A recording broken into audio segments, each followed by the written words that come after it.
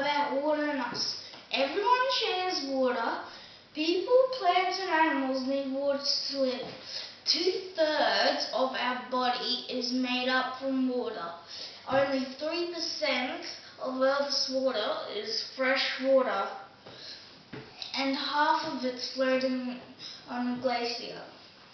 Well, half of it is a glacier. How we share water.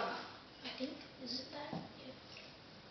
Governments pass laws to save water. Recycle as much as you can. All factories use a lot of water to make products. At home. Oh yeah, and um, that's why I chose this car, this recycled cardboard to be my poster.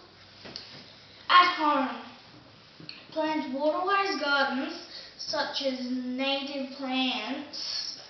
Use a large layer of mulch on the garden.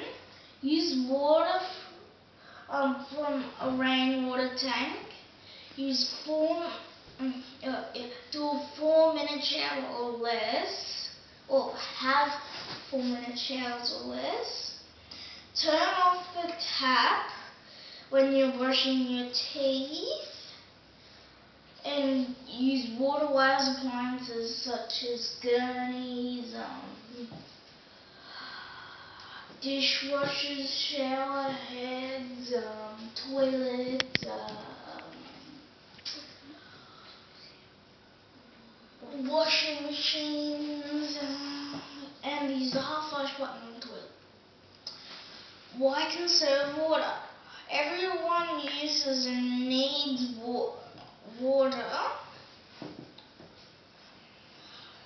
uh, yeah, we all responsible. We are all responsible for um, conserving water.